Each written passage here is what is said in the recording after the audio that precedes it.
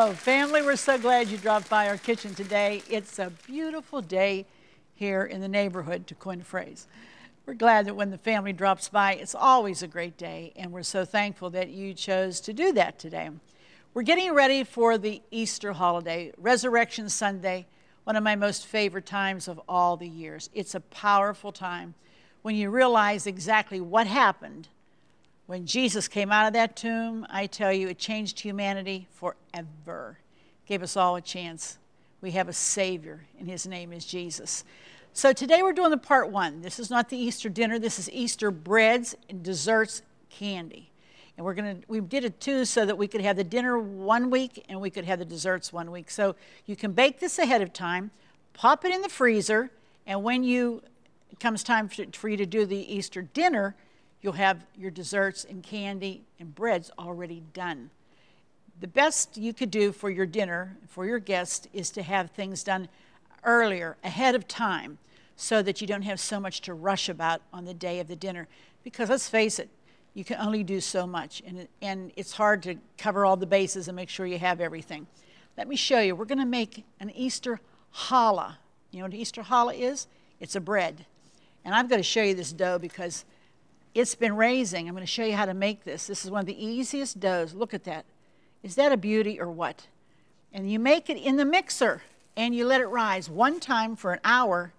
And this is what you have. And then I'm going to show you what you do with this.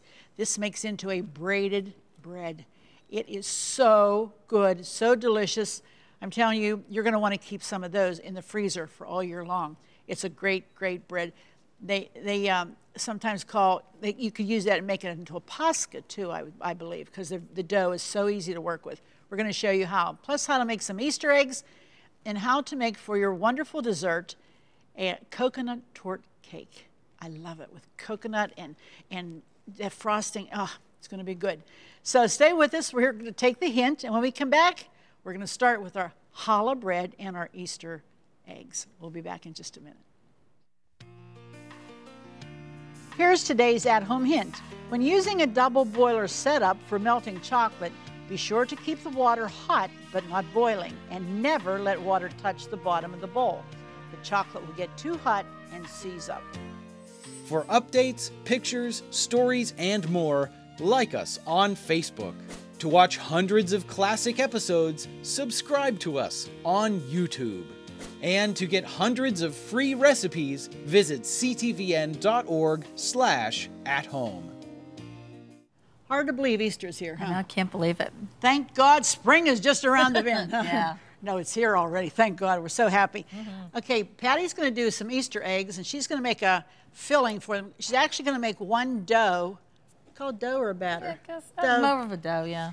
And then you divide it into four, and you can make peanut butter, coconut, plain or peanut butter, chocolate. Oh, peanut, peanut butter. butter. All right, sorry.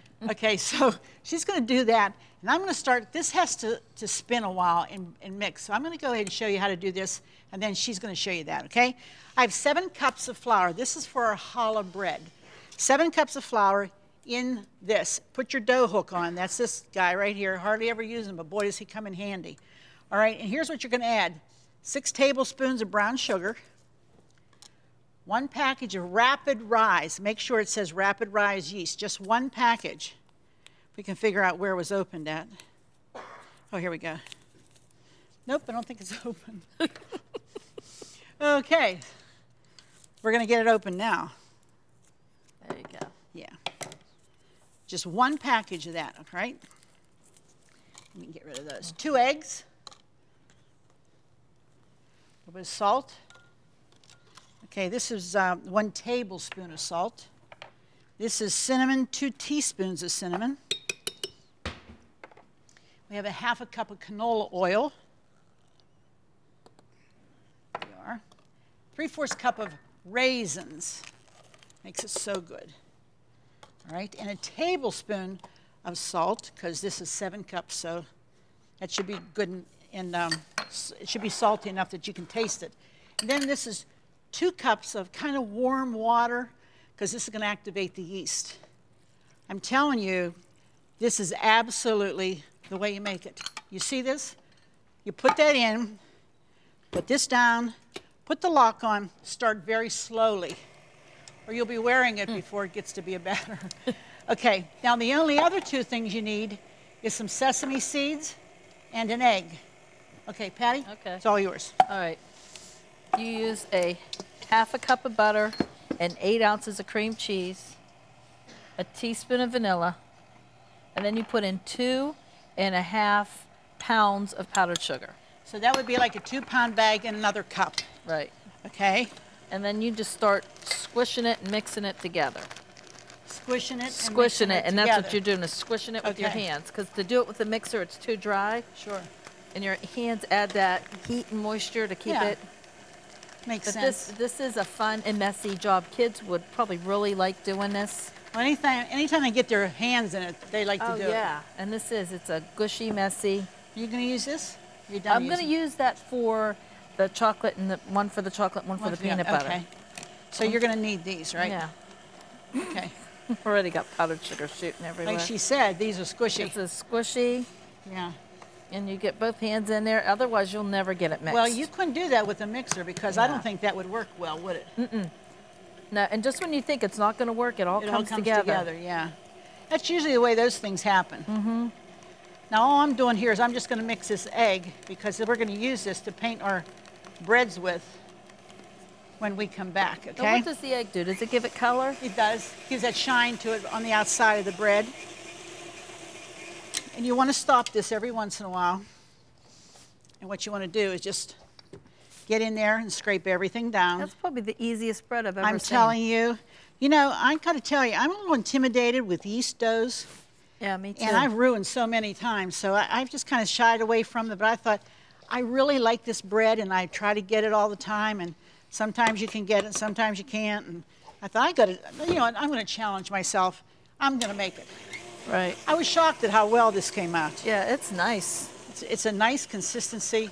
It's delicious because we tried it already. Look Okay. at this is starting.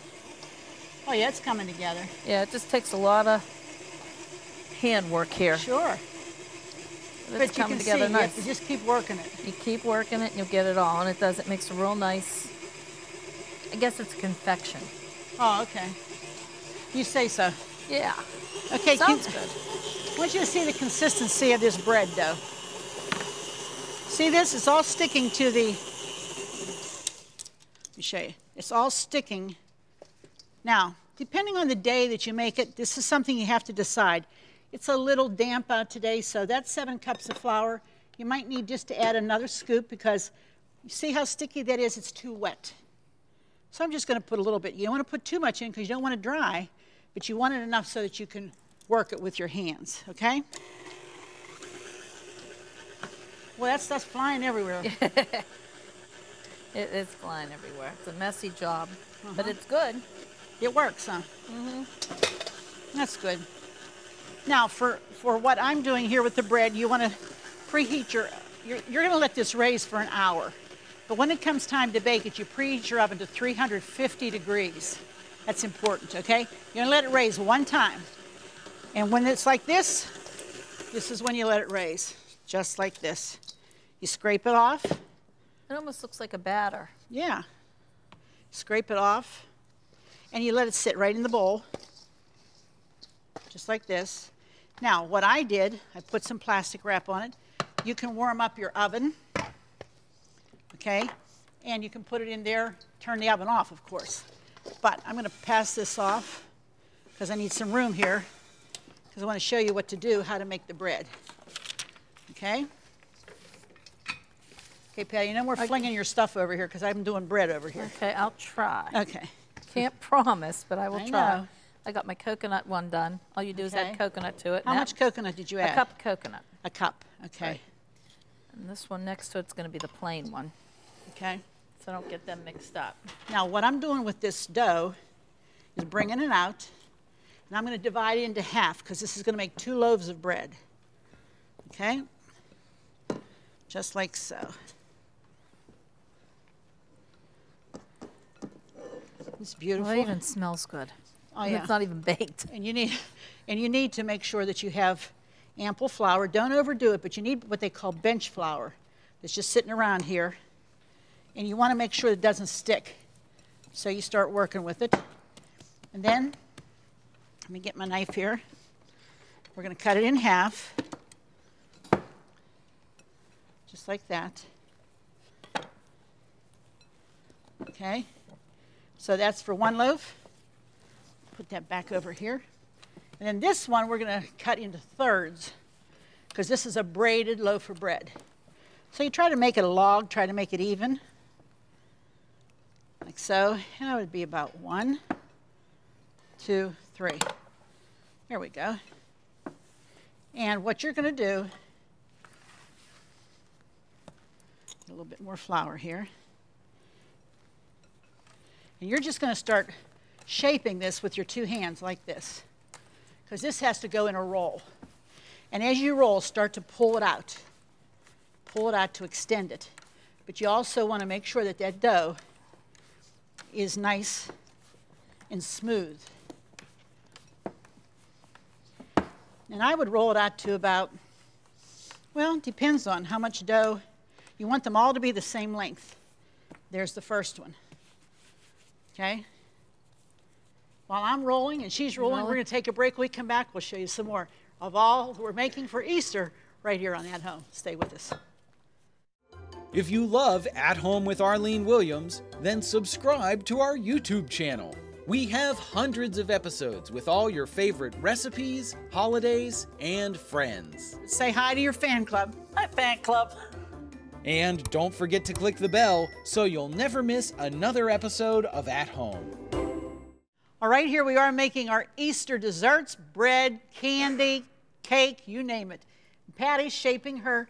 Now, what size balls are you making there? You make them about, about an inch, like, inch and a half. You can make them big like or that. little, as long whatever you want. Right, and you can either do them by hand and try and make little eggs, or if you have a mold, I'd suggest you spray it with like Pam butter spray or something and then put it in, otherwise okay. it might stick. And then you could toss that in the fridge or the freezer till it they firms up. They have to set up for about an hour. Mm -hmm. Yeah, that's important. Now she's got plain, she's got coconut, peanut butter, and chocolate. Right. All out of one mix. That's pretty cool. Yeah, it is. Okay, and for my breads, here are their challah breads. We get two of them out of our the recipe. The braiding is easy. You pinch the ends together and just braid it back and forth. Get to the bottom, pinch the ends and turn them under. That's all it is. This is sprayed pan. And here I have a, a full egg, whole egg. And I'm just going to paint this over this because this is going to make these breads nice and brown. Beautiful and brown. Mm-mm-mm. Oh. Tell you the smell of bread baking, there's nothing. I remember as a kid, my mother, well, first of all, when I'd get ready to go to school in the morning, she had this big pan that she used. It was like a big um, like a utility pan. And when she had that on the table, we knew we were going to have bread because she would start that early in the morning. And I'd say, Mom, are we going to have bread when I come home? Oh, yeah. I'd come home at lunchtime for lunch, and there would be the bread raisin in that big pan. She'd make like seven, eight loaves at a time. Oh.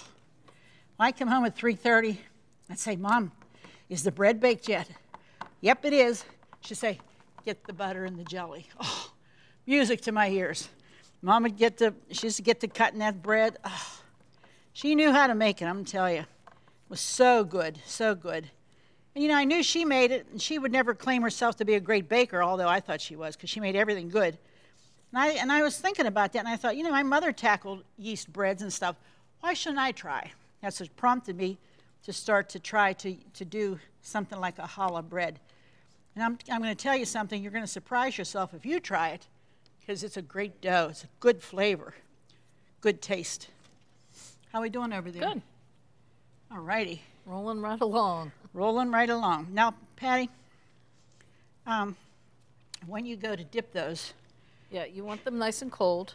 So you dip them in chocolate, chocolate. chips? Yeah, chocolate chips, and you put a little tiny bit of oil in it because it melts it down, or and, keeps it smooth enough. And it also gives it a nice shine. Yeah, it does. Okay. And then if you want, you could top it with sprinkles or whatever you want to put on to decorate them, but you got to do it while the chocolate's wet. Okay. Now, after we do the egg, just going to sprinkle with some sesame seeds. Just a little bit. Don't want to go crazy. This goes into a 350 degree oven, and they bake for 40 minutes, and you're done. That's it. They don't, you'll be amazed when that hits the heat. These puppies raise. They do great. All right, you gonna put those in for me? Thank you so much. Okay, while she's doing that, let me tell you about the cake that we're doing. Wipe up here a little bit, clean up. There we go. She's doing the chocolate. Show them that uh, I'm water. I'll get the, yeah, the water, you just, just a little You bit keep in it there. low. You don't touch just the enough bottom. to get it, keep this hot. Mm -hmm. And then a lot of times I turn the water off because keeps it's it hot hot. enough and you don't want to burn it, Sure. and you have a mess. I'll get the ones to dip. Okay, while she's doing that, I've baked a two-layer cake. I made it in my petal pan. It's kind of like a scallop pan. And I've split the layers because this is going to be a torte. That means multiple layers. I have some brown sugar, package of cream cheese, a little bit of vanilla in here. And you bake this according to the package directions, okay? And then I'm just mixing this. So it's really nice and creamy because what you're going to do now is just fold into this a large Cool Whip. That brown sugar in there is really going to give it some flavor. So, let me make sure I get the right one. One day I did that and I pressed this, and the stuff was flying everywhere. Not a good idea. Okay, there we go. Now, you don't want to beat this in. We've had experience with beating Cool Whip, and it goes flat. It goes into an absolute disaster. So you don't want to do that. Patti, do we have a? Um, What do you need? I need a uh, spatula. Oh, here I have one. I have one. Thanks. Here's an extra one. Okay. And so you're going to just take this and fold. You know what fold is? Very, not stirring, Gentle. gently, gently, gently doing it. That's pretty cool. Watch how Patti's coloring or uh, frosting those, covering them with chocolate rather. Mm-hmm. Dip them, and then you put a little bit of sprinkles while the chocolate's wet. Now you want to do sprinkles because you want to make sure people know what's in there. So you do different colored sprinkles for the different kinds of eggs that you're making. Okay, and here I'm just, here we go. Fold, down and up. That's the process, down and up until it's totally incorporated. If I was to take this thing and just beat it, beat it, it would go flat. Not what we're looking for. Okay, you want to make sure that your cream cheese is soft so that it blends well. Just like that. Then what we're going to do here is we're going to add coconut. Yum, yum, yum, yum. To this. Because we're going to we're going to frost here, put another layer. We're going to do four and then frost the whole thing with this and decorate with jelly beans. You're going to love it. It's going to be awesome. We're going to take a break while Patti's dipping and I'm spreading. We'll be back in just a minute to show you everything we made today. To get all the recipes from today's show, plus hundreds of others, just click the link in the video description or visit our website, ctvn.org slash at home. Well, I hope you uh, can take a little trip around the uh, counter with us today. First of all, here's our challah bread. Did I tell you this was beautiful? Look at that bread. This is the kind of slices you get. Look, it's got the beautiful raisins. Look at the look at the texture of that bread. It's just beautiful. It's smooth, no big holes in it, and it's all done on with your mixer. You don't get in there at all. You don't have to. Makes two loaves just like this. It, they bake in 40 minutes. It's done. Wrap them up, put them in the freezer. You'll have them. Bring them out on Easter. Okay, that's wonderful. Next, we have our, and we have a marathon of chocolate-covered Easter eggs. I'm telling you, just look. One, two, three, four, five. And that's not even half of them. It makes a lot, and it makes all different varieties. We have a lot of peanut butter, we have coconut, we have cocoa, which is a chocolate, and we have a plain vanilla center. And look how nice they are. Patti outdid herself on all these. She just kept dipping, dipping, dipping, dipping. We're going to call her, instead of Willy Wonka, we call her Patti Zonka because she was going to town on that chocolate. And um, I'll tell you, there's a lot. You can keep these. These will keep refrigerated between for one week between now and Easter. Give them as a gift. You need a little hostess gift. You have it. You give them to your grandkids. Give them to the little to the kids. You save a lot of money making them rather than buying individually. Okay. And then here in the center, this is our coconut torte. Oh my, it's a beauty, isn't it? Four layers and just as delicate as you can see. I mean, it's a beautiful centerpiece, and um, I know you're going to like it. Be sure to join us next time because it's going to be Easter, and it wouldn't be the same without you. We'll see you then.